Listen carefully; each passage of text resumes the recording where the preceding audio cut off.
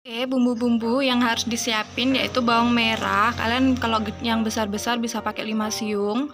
Terus bawang putihnya 3 siung. Kemudian ada kemiri, aku pakai 3 ya, tapi ini pecah jadi kayak 4 terus ada lagi cabai ini boleh pakai cabai besar juga tapi aku nggak ada jadi aku pakai cabai kecil aja atau cabai rawit. Terus pakai ketumbar ini kalian boleh pakai ketumbar yang diulek sendiri aku pakainya yang bubuk ya. Terus kunyit kunyit ini boleh juga pakai yang kunyit ulek.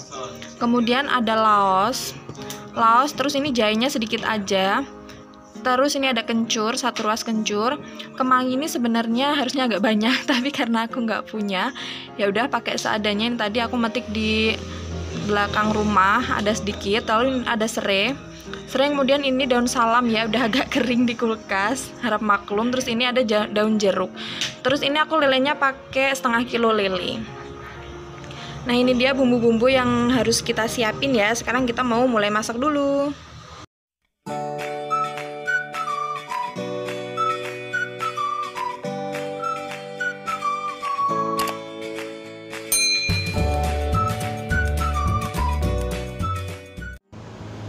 Assalamualaikum warahmatullahi wabarakatuh. Jumpa lagi di channel kesayangan kita di Sume Family Bersama aku Uma Indi. Teman-teman gimana kabar kalian semua? Semoga selalu sehat ya. Maaf jadi belibet aku ngomongnya. Dan semoga kita selalu dikasih rizki Yang melimpah oleh Allah subhanahu wa ta'ala. Amin ya robbal alamin. Teman-teman kalian suka nggak masak lele? Biasanya dimasak apa aja? Uh, aku biasanya cuma digoreng-goreng sih tapi kali ini aku mau bikin mangut lele ya.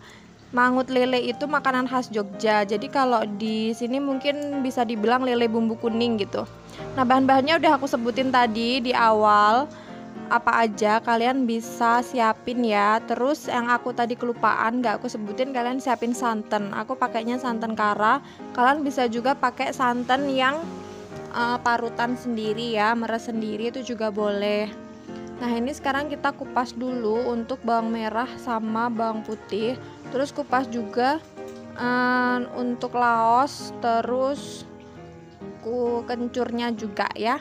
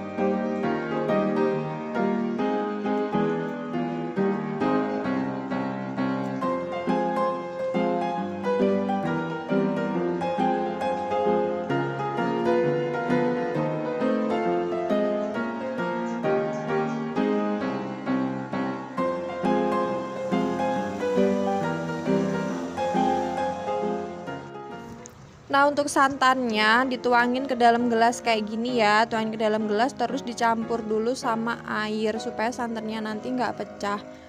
Eh, kemarin-kemarin ternyata aku tuh salah ya masaknya tuh makanya santannya kok pecah. Ternyata tuh harus dicampur sama air. Harap maklum ya aku tuh emang belajar masihan masak tuh belum terlalu bisa. Jadi misal ada salah-salah boleh loh kalian tuh kayak komen di kolom komentar harus ini mendingan gini Uma kayak gini kayak gitu. Nggak apa-apa biar aku juga sambil belajar gitu. Ini juga sebenarnya aku masak mangut lele ini uh, lihat tutorial terus aku cobain. Dan enak kok enak banget kata suami aku enak. Kalau suami aku mah dimasakin apa aja enak. Nah teman-teman ini aku lanjut untuk goreng dulu bawang merah sama bawang putihnya ini boleh juga ya nggak digoreng dulu. Jadi mentahan gitu boleh. Nanti ditumisnya pas sudah diulek. Kalau aku karena biar gampang nguleknya jadi aku goreng dulu biar empuk. Nanti nguleknya biar nggak terlalu uh, susah gitu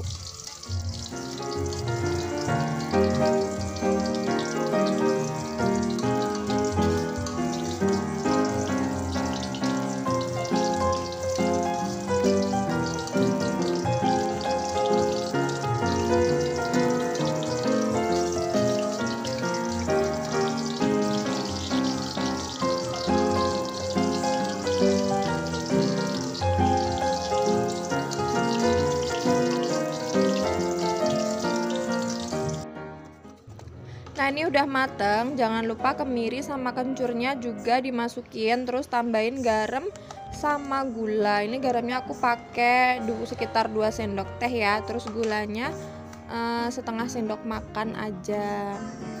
Terus kita ulek-ulek dia sampai halus semua. Untuk nanti daun jeruk, laos sama serenya digeprek aja karena mereka nggak bisa. Kalau kita ulek mau gimana nanti rasanya nggak enak ya malahan jadi digeprek aja. Nah ini udah halus teman-teman. Maaf ya goyang-goyang. Ini kameranya harap maklum karena seperti yang kalian tahu meja aku kan dari kayu ya bukan yang kayak meja cor gitu. Kalau yang kitchen set asli kan meja cor karena ini meja kayu. Jadi buat ngulek buat ngiris-ngiris tuh dia pasti goyang-goyang gitu. Harap maklum ya Oke ini udah aku siapin minyaknya. Tuanginlah semua bumbu yang udah diulek tadi. Terus aku biasanya tuh karena sayang ya ada sisa-sisa yang ada di lemper Jadi biasanya aku ini aku bersihin pakai air gitu. Lempernya dikasih air terus airnya dituangin ke wajan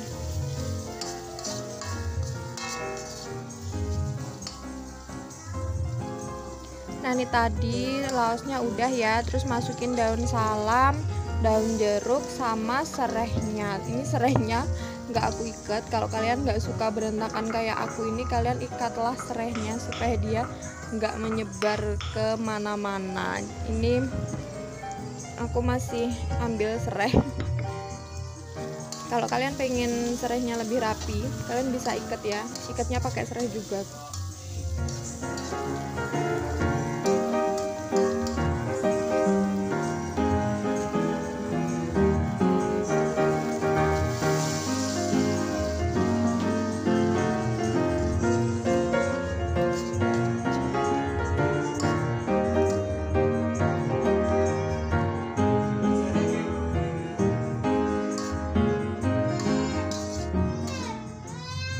Nah kalau udah harum tadi aku udah tambahin air ya ini. Kalau udah tambahin air terus masukin uh, ketumbarnya Ketumbar bubuk Aduk-aduk terus tambahin juga kunyitnya. Nah ini enaknya kalau pakai kunyit bubuk tuh Misal oh kurang kuning bisa tambahin lagi Bisa tambahin lagi. Jadi dikit-dikit gitu.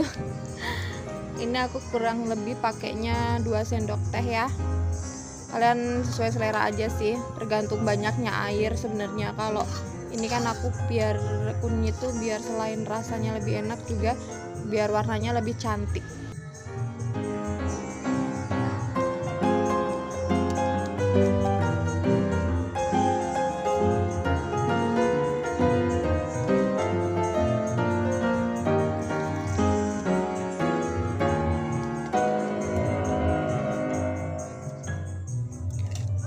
udah mendidih airnya tambahin santannya yang udah kita aduk di gelas tadi ya.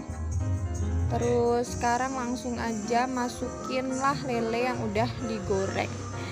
Ini lelenya digoreng kering ya. Kalau lele yang kecil-kecil kalau lelenya besar enaknya digoreng setengah matang. Karena lele aku tuh kecil-kecil setengah kilo dapat 8 banyak banget. Jadi digorengnya kering gitu. Kalau dia digoreng setengah mateng nanti nggak ada dagingnya gitu. Kata bunda aku sih gitu. Makanya ini aku goreng kering.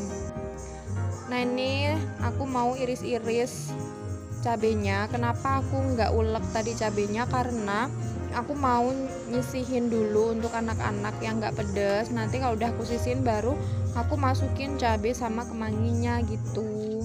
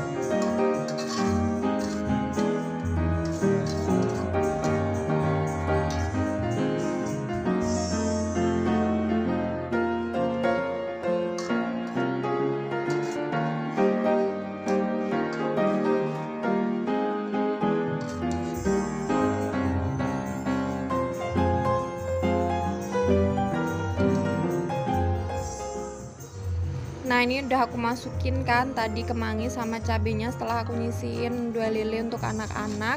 Ini udah mendidih, udah mateng. Dan jangan lupa untuk bersih-bersih setelah kita masak.